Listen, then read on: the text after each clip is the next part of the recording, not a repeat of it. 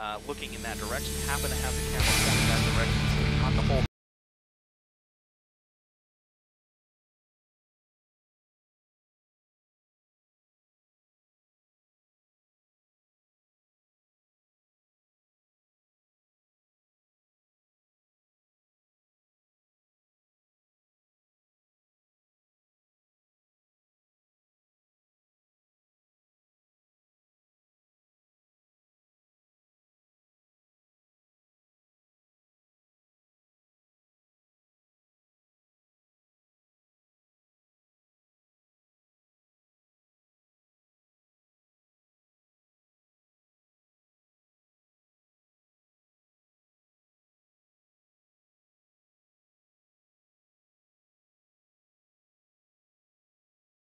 of this. I think a lot of people may have been a little panicked when they saw it. Again, this is perfectly harmless. A little more information on it. This is a Falcon 9. This is a SpaceX rocket. What it's doing, it's actually, um, those are the boosters that are breaking away. SpaceX says that they're not going to try to recover those boosters, but they are delivering 10 satellites to basically low Earth, Earth orbit. These are going to be for mobile uh, voice and data satellite communications. Um,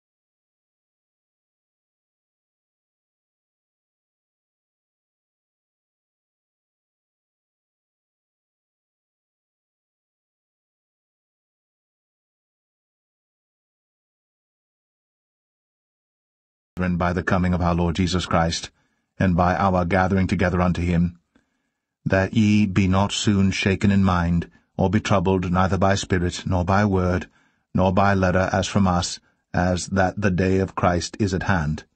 Let no man deceive you by any means, for that day shall not come except there come a falling away first, and that man of sin be revealed, the son of perdition, who opposeth and exalteth himself above all that is called God, or that is worshipped, so that he as God sitteth in the temple of God, showing himself that he is God. Remember ye not that when I was yet with you I told you these things? And now ye know what withholdeth that he might be revealed in his time. For the mystery of iniquity doth already work, only he who now letteth will let, until he be taken out of the way. And then shall that wicked be revealed, whom the Lord shall consume with the spirit of his mouth, and shall destroy with the brightness of his coming, even him, whose coming is after the working of Satan with all power and signs and lying wonders, and with all deceivableness of unrighteousness in them that perish, because they received not the love of the truth, that they might be saved. And for this cause God shall send them strong delusion, that they should believe a lie, that they all might be damned who believed not the truth, but had pleasure in unrighteousness,